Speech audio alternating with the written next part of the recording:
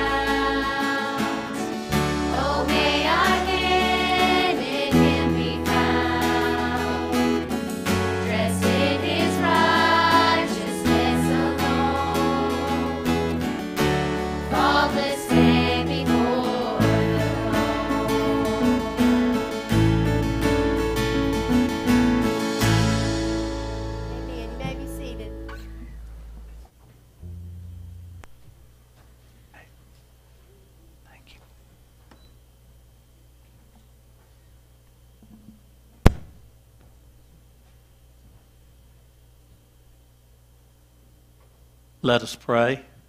Heavenly Father, we are thankful to be here. We're thankful for this beautiful day that you've given us, this day in March. And Lord, we're thankful that our hope is built on you and nothing less. And then we realize, Lord, that your Son, Jesus Christ, paid it all. All to him we owe. Sin has left a crimson stain. Your Son washed white as snow. Lord, as we come to worship you this morning, may we put our hearts, our minds to you. May we put all the cares of this world beside. And Lord, we ask that the presence of your Holy Spirit be upon each and every one of us. That what is said and done here will be pleasing to you. And that your Holy Spirit will move mightily among us today. Now watch over us, guide us, and direct us. In Jesus' name we pray. Amen. This morning we want to welcome you if you're visiting with us. We have some visitors, and we're glad that you are here. And so hope it will not be the last time you come. So please, we're glad to have you. We'll have our time of fellowship in a few moments. Please make a point to welcome our visitors. I also want to remind you that immediately following the services this morning, there will be a youth fundraiser barbecue luncheon downstairs. So be in prayer for that, and we'd like to invite everyone to come and to be a part of that. Also, reminder those that are part of the New South River Baptist Association uh, spring meeting. It will be this coming uh, Tuesday at Tabernacle Baptist Church. So please note that as well. Also, next Sunday will be a very special day in the life of the church. This is a day that we're going to culminate the women and men's contest. And we're going to see, I, am kind of getting excited on this thing. I hope you are. I appreciate our fundraising committee and what they've done in preparing this and planning this. And so this will be the day. And as I said, whoever wins, we'll see what will be done there. Let everything be kind of surprise. We'll probably do it early in the hour so that we can announce the results. So we're excited about it. And so please come and please give to our building fund. We're thankful for the faithfulness and also the response that's already been done in this. And so continue to be a part of this. Only thing we ask you to do is the women in the men's boxes, eh, put them in the right ones, and please designate on your envelope or your check which one that you want it to go for. So again, we're excited about that. Also, next Sunday, you're cordially invited to an evening of fellowship, praise, and worship. That's on the 25th, and everyone is invited to dinner at 5:30 with a worship service to follow. This event is sponsored by the Children's Department. So you will be blessed. Hope to see you there. And Amy Wam is looking for bud vases by May the 1st. Also, you have here the uh, Easter schedule that will be falling on Sunday, April the 1st. Note the differences in the times, and we'll be announcing and giving you more information on that. But we are just going ahead and emphasizing this Easter sunrise service uh, Sunday school, Easter uh, at breakfast, then Sunday school, and then Easter celebration at 10 o'clock. We're looking forward to all the wonderful things that God has done. God's been good to us, he? And God has blessed us. So again, we rejoice with all this. This is the day the Lord has made, and we will rejoice and be glad in it.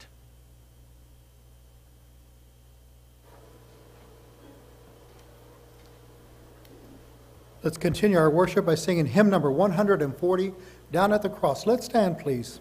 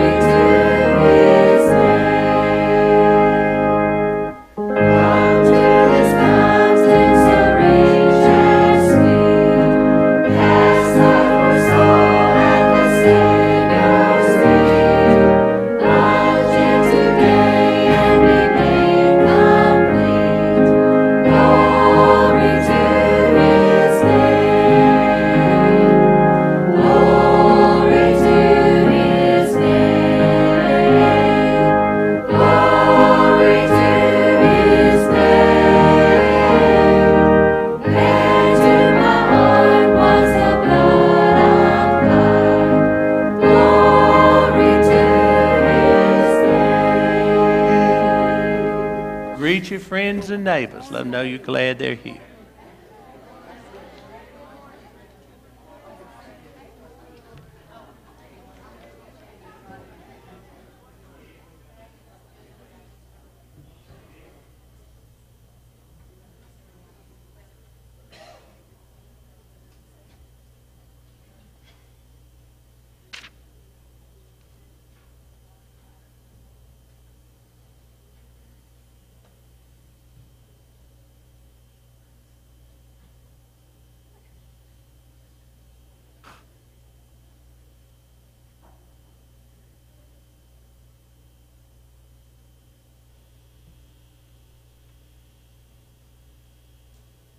Which led us eventually to gangs and street gangs right here in Toronto.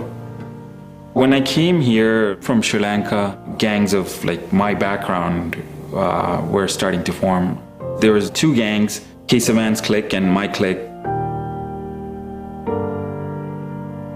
My best friend was brutally beaten up, and the response to that was what changed everything in my life.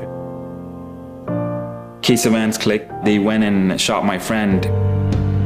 Two weeks later, I ended up in prison, and little did I realize that nothing will ever be the same again. One of the inmates slid a book through the door, and when I opened it up, it was the Bible. Two months after my arrest, I committed my life to Christ, repented, and I believed in Him as the only way.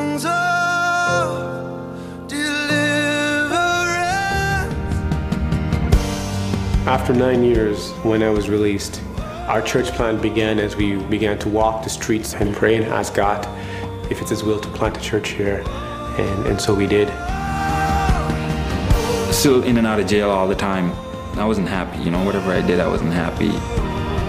When I met Gajan, I couldn't help myself but grab him and hug him, just for him to know off the bat that I'm not the same person I was.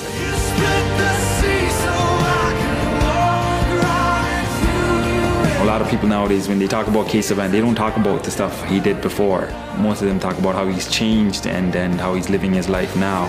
When you see that, and, you know, you're like, oh, I want that. You know, I want to be like that too. You know, I want to change. For me and my family, the Annie Armstrong Easter Offering has faithfully provided so that Gajan and others like him, that they can also know that there is the realness of Christ. And so we believe that this is the harvest where God wants us to work, and to see people who don't know Jesus becoming worshipers of Christ.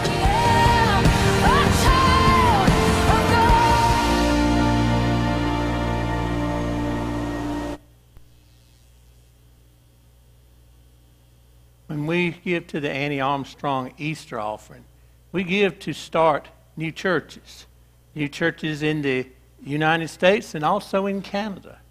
And be in prayer for the church that's mentioned here, missions here and now. Offering envelope are in your envelope boxes and also in the pew. So be in prayer for this and give to the Annie Armstrong Easter offering.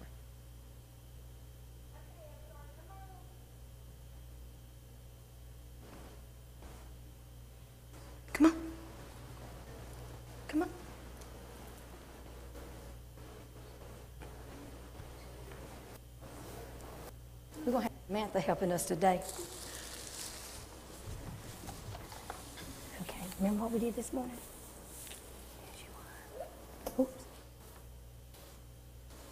Here, get two.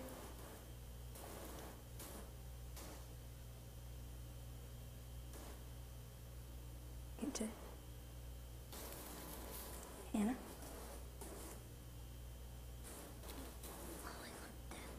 Wait, go on. I'll show you in a minute, okay?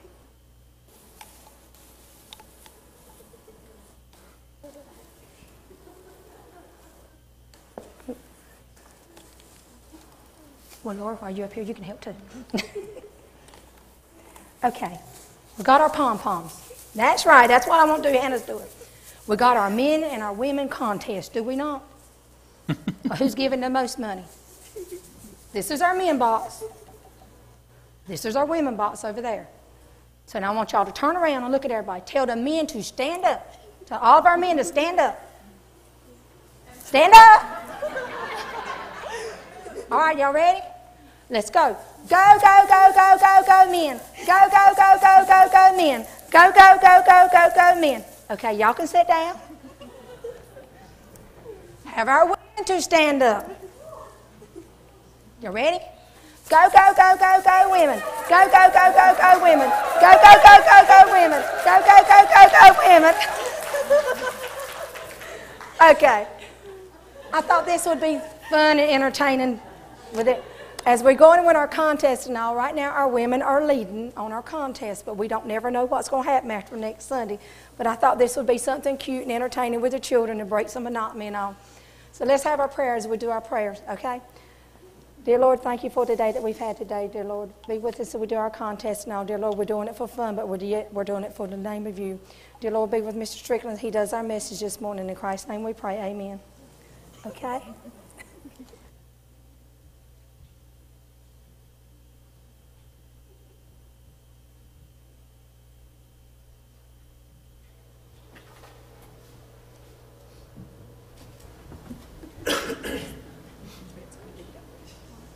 Pastor, we men were totally clueless.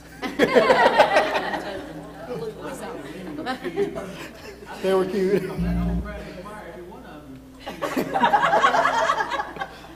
We continue our morning worship this morning by singing hymn, hymn number 575, I Will Sing of My Redeemer. Let's stand, please. This will also be our offertory.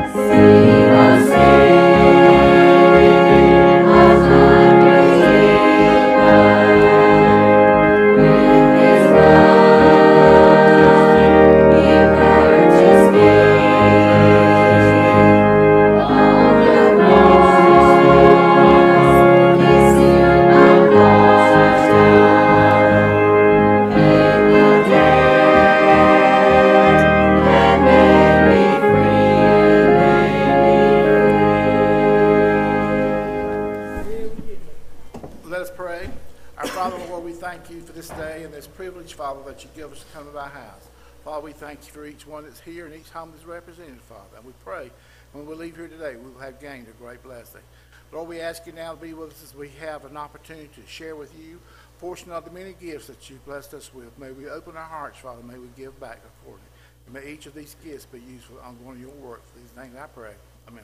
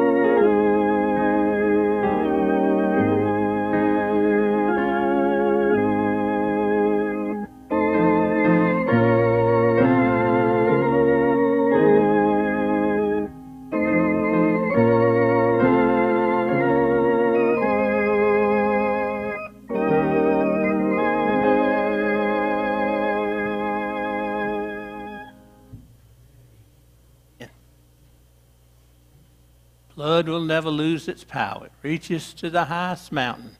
It grows to the lowest valley. The blood that gives it strength from day to day. It will never lose its power.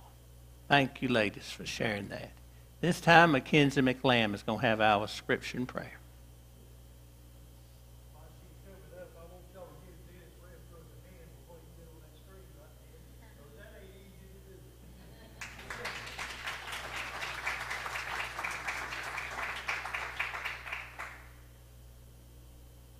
And our scripture this morning comes from Isaiah chapter 53, verses 3 through 5. And if you're able, please stand. He was despised and rejected by mankind, a man of suffering and familiar with pain, like one from whom people hide their faces. He was despised, and we held him in low esteem. Surely he took up our pain and bore our suffering, yet we considered him punished by God, stricken by him, and afflicted.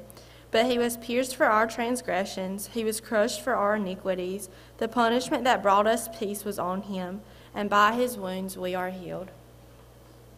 May God richly bless you. May be seated. May God richly bless the hearing and the reading of the word at this time. At this time, we want to go to the Lord with special needs. We have the prayer list on the back, and are there others that you would like to share with us at this time? Tammy Lockamy, Renee Barfield Keith. Continue to remember Brother Billy and Miss Louise this time. And Melanie, and we remember Melanie will be having surgery on the 28th, and we'll be praying for you, Melanie. Others? If not, let us pray. Let us pray. Dear Lord, thank you for this day and for everything that you've given us. We just thank you for allowing us to come to your house this morning and learn more about you and worship you. We just pray now that you'll be with those who were mentioned, Lord. You know the names and the needs of those who were mentioned, and we just pray that you'll be with them and just whatever need it is that they have, that you will just meet their needs. And we know that you can heal those who are sick and just be the peace and comfort for those who are going through hard times and those who have lost loved ones, Lord. So please just comfort them in the way that you can. Please be with us throughout the remainder of the service, Lord, and just be with us and help us to keep our hearts and minds open as we listen to what it is that Mr. Strickland has for us this morning, and just help us to apply it to our lives so that we can grow closer to you. In your name we pray. Amen.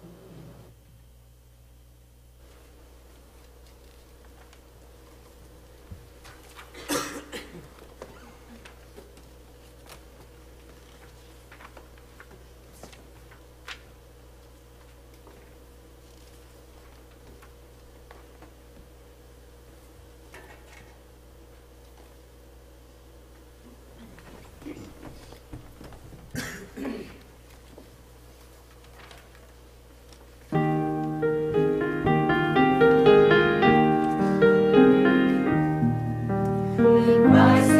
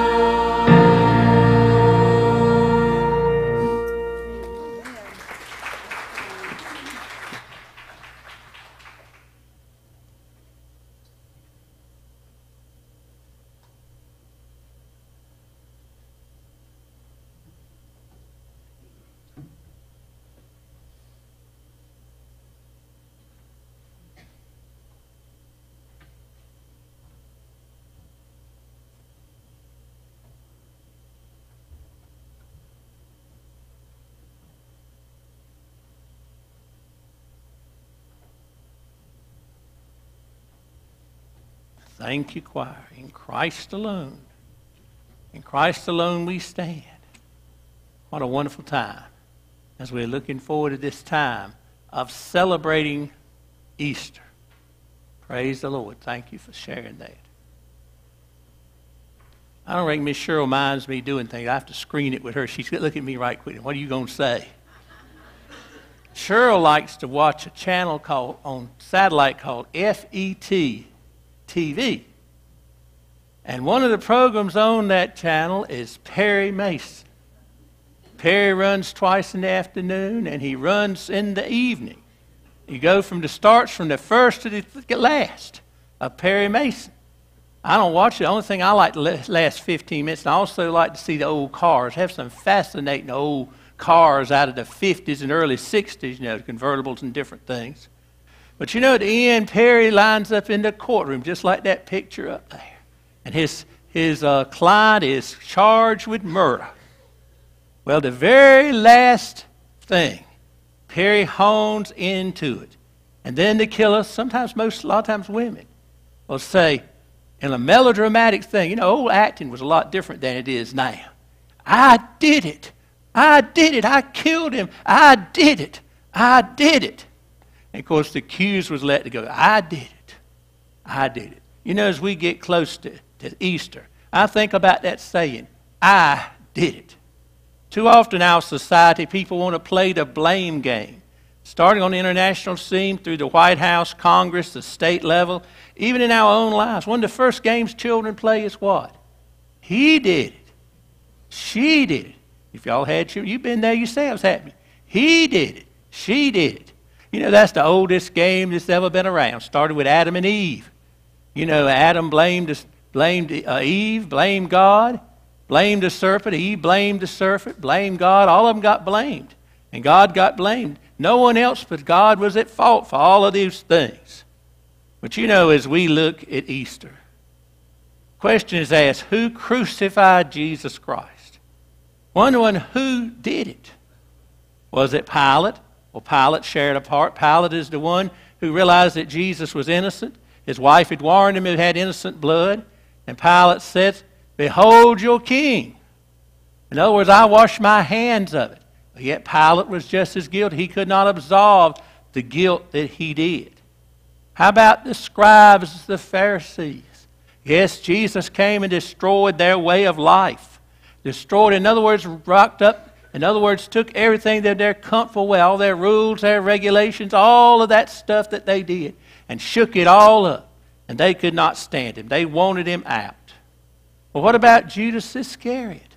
Judas really wanted a Messiah that would overthrow the Roman government, that would restore the old glory of King David and have Jerusalem and Israel like it was hundreds and hundreds of years before, who sold Jesus out for 40 pieces of silver. Yes, he had a part of it.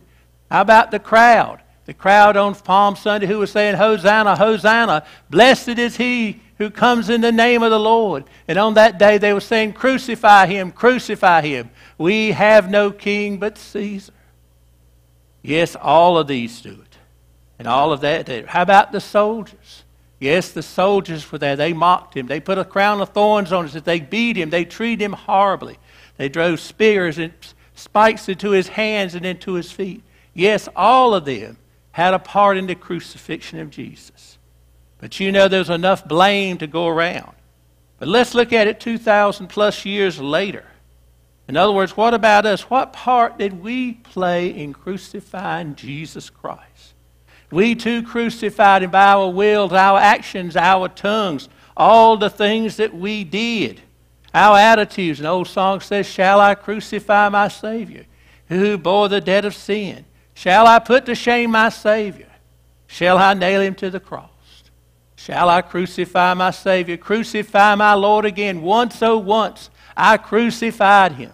Shall I crucify him again? Yes, we are all guilty. We did it, as that old melodramatic style says. We did it. But you ask the question why did Jesus Christ die for our sins? He died out of the love for you and me.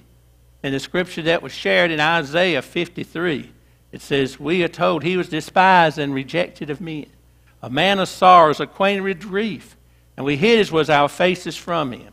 He was despised, and we esteemed him not. And surely he hath borne our griefs and sorrows. Yet we did esteem him stricken, smitten of God, afflicted. Yes, he was wounded for our transgressions. He was bruised for our iniquities, and the chastisement of our sins was upon him, and by his stripes are we healed. So today, why did we crucify Jesus Christ? We did it. We know that. First, I want you to know that yes, we all are guilty. And the reason we're all guilty, we were all born in sin. The scriptures tell us in sin did our mothers conceive us. Every person on this earth that's living there except Jesus Christ was born in sin from that sin of Adam that was inherited that tendency. Paul says, But since by man came death, by man came also the resurrection. In Adam, all died. In Christ, all made alive. You know, used to talk about what is sin. You know, here we've heard sin all our lives in church. We've heard it in different places. What is sin?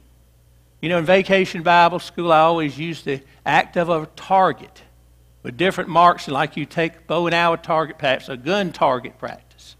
And any time that you do not hit the bullseye, you are missing the mark. That is sin. And all of us have sinned. All of us have come short of it. You know, the scriptures talk about, in the scripture here, different types of sin. Talk about iniquities. Iniquities are sickness of sin, sick, sick conditions in our world. The mass murders, the shootings, the terrorists, physical abuse, emotional abuse. All the wickedness and hatefulness of this world is rolled up into the sickness. As the song said, there's a balm in Gilead to see it kill the sin sick soul. This is the kind of thing. And then it talks about transgressions. Trans means across. These are against others, against God, against fellow man, against all the people. You know, people say, well, whoa, preacher, I, I know about I'm not guilty of these ugly, hateful things. The crimes that we have are ugly. I try to live a good life. Yes. I don't drink, I don't smoke, I don't cuss. I don't do all those evil things. I'm not shooting and killing and all that sort of stuff. I don't rob and I don't thieve and all that stuff. But, friends, no matter how good we are, we are still missing the mark. We all are guilty of, of sin. We're guilty of crucifying Jesus Christ. We hear a lot about the sins of commission and omission. A lot of times we're just as guilty of the sins of omission. There's sins that we've not committed, but sins that we fail to do. Maybe we fail to speak a word for the Lord Jesus Christ. Maybe we fail to stand up for the Lord Jesus Christ. Maybe we fail to witness Him, to do that cup of deed of kindness in the name of Jesus Christ. And ultimately, we're afraid to put our trust in Jesus Christ. We put our trust in ourselves and we fail miserably. And that's sin when we fuss, we fret, we worry, and all of us, including myself, are guilty of those things. We need to put our trust.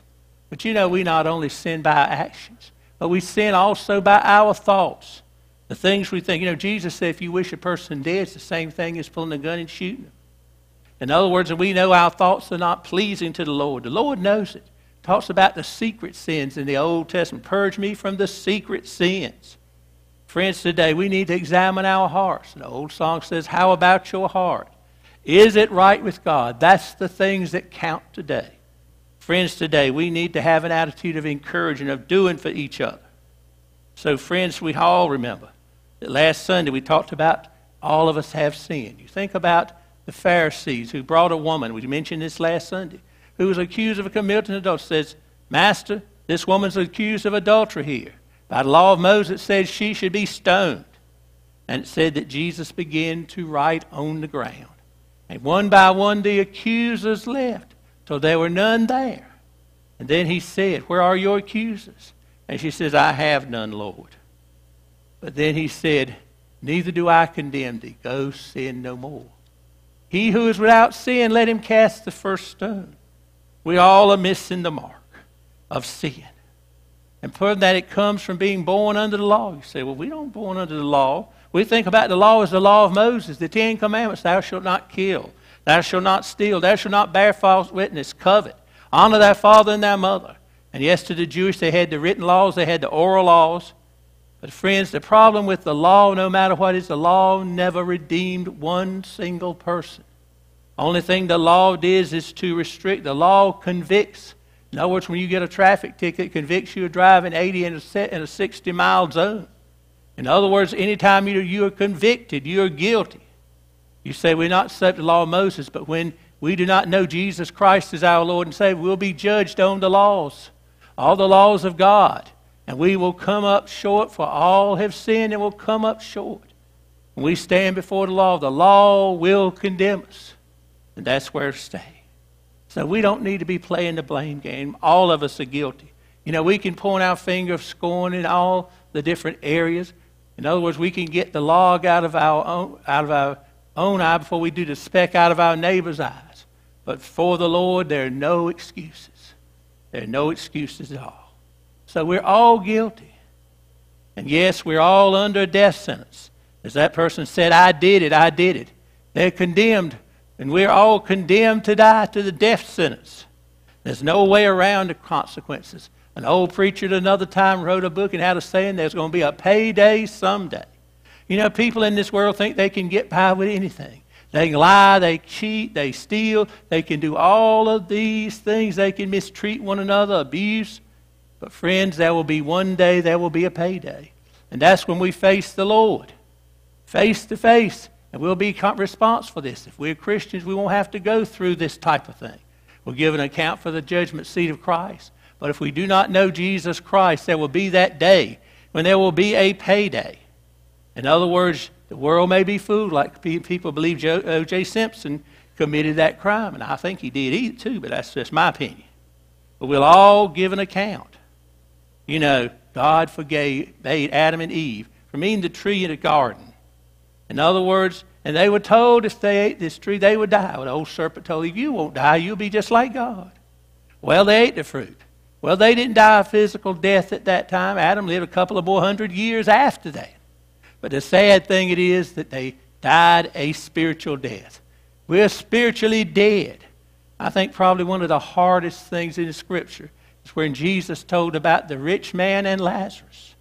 You remember the parable of the rich man and Lazarus. It said that the rich man fared sumptuously. He had abundance. He had all sorts of things in his life to please him. And there was Lazarus, a beggar, that ate at the crumbs at the rich man's feet. It said, moreover, a dog licked his sores. And it said eventually that the rich man died and was buried. I'm sure he had the best funeral that money could buy.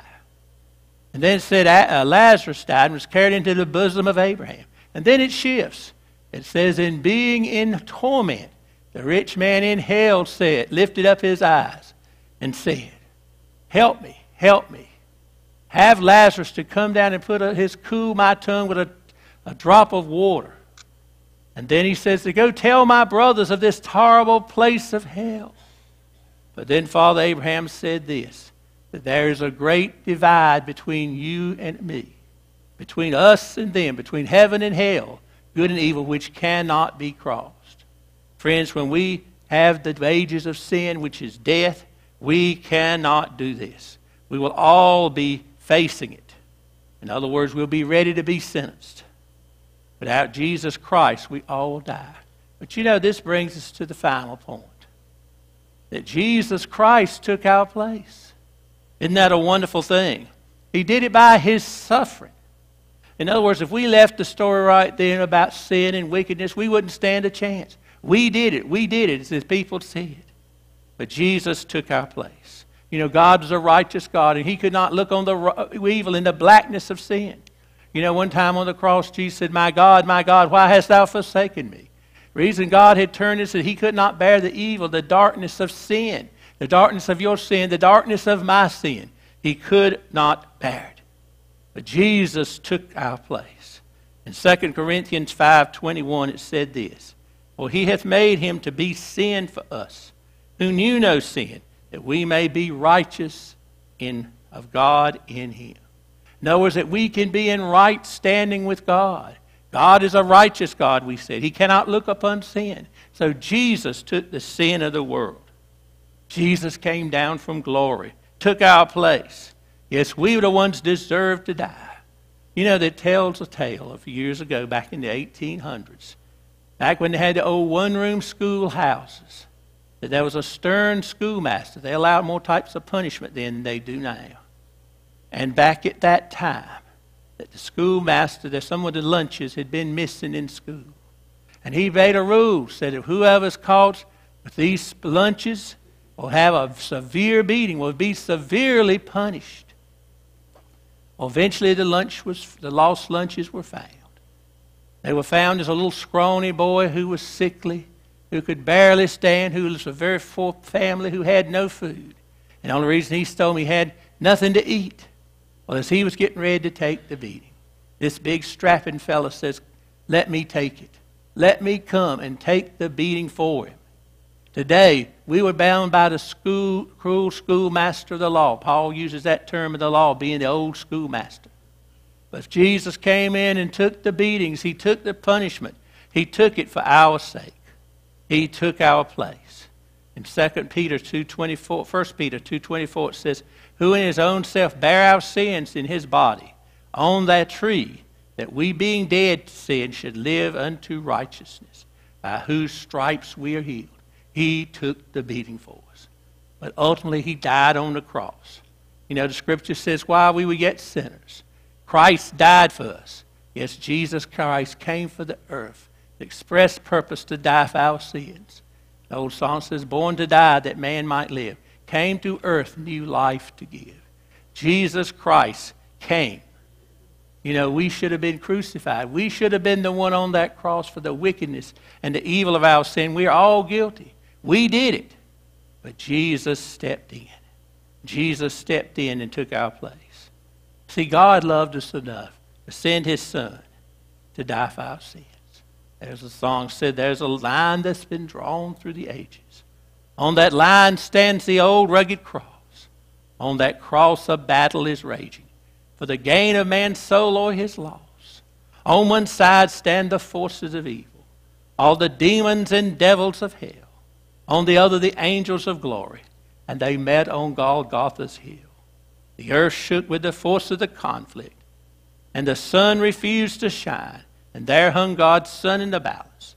And then in the darkness he cries, It is finished.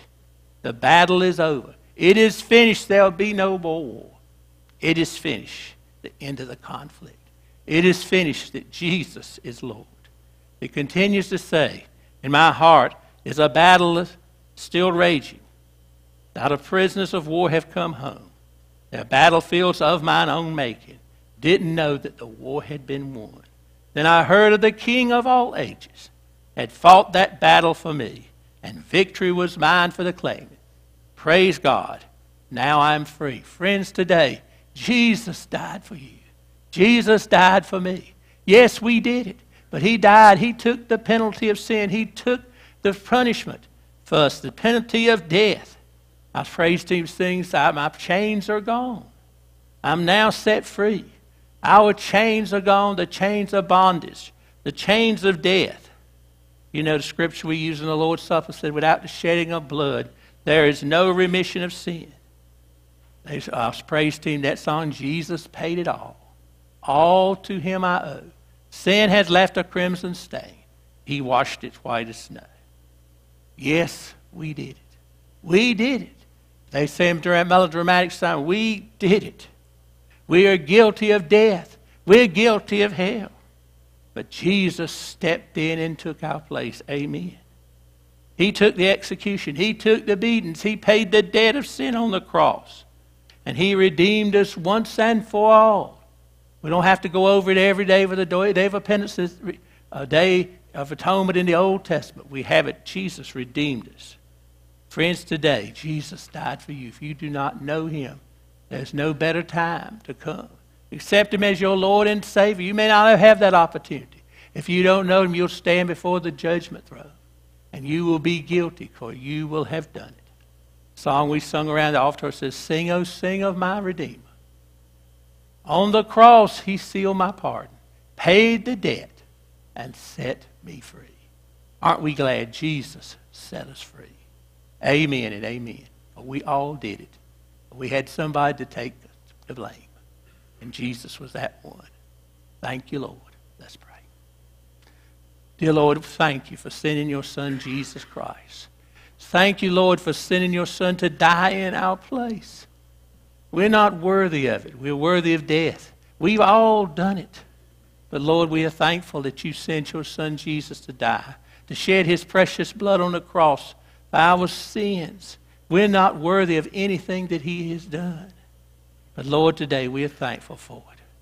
But Lord, there may be some here who are still struggling, who have not accepted you as Lord and Savior. Lord, I ask you press upon them the need to come and to make that decision now. And make it before it's too late. Lord, we just ask now that you be with our invitation. Watch over it. And whatever we say and do will be pleasing to you. We give it over to you. And again, we thank you for all that you've done for us by sending your Son, Jesus Christ. And Lord, we ask in your precious Son's name. Amen. Our invitation is one of the old hymns of the church at the cross. Alas, and did my Savior bleed, and did my sovereign die? Would he devote that sacred head for sinners such as I? At the cross, at the cross, where I first saw the light, and the burden of my soul rolled away. It was there by faith I saw sight. And now I'm happy all the day. If you do not know Jesus Christ, please come today. Jesus died for you. He died on the cross to save you from sin. And friends, today there's no better opportunity. Maybe you're a member of another church you could serve here. We'd certainly love to have you by letter, by statement. Or maybe this message, I did it, speaks to us. Our hymn number, Brother Josh. Hymn number 139. Let's stand, please.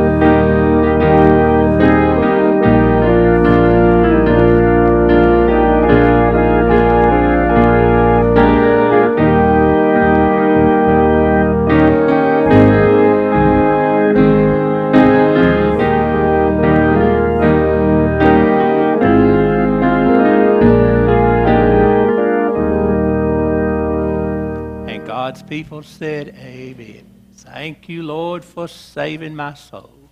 Thank you, Lord, for making me whole. Thank you, Lord, for giving to me thy great salvation, so rich and free. Amen. And God's people said, Amen. Remember our luncheon downstairs. We'll have a blessing for it here. Everyone is welcome to go. Donations are accepted. So keep that in prayer. Let us pray. Dear Heavenly Father, today we're thankful for your dear presence of your power of your Holy Spirit here this morning. And Lord, touch our lives as we talk about the cross. We talk about the reality of your Son dying on the cross for our sins. And Lord, may we never forget it, that you did it for us. We ask this now as we go downstairs to bless us, to bless the food to the nourishment of our bodies, and our bodies to your Christian service. In Jesus' name we pray. Amen.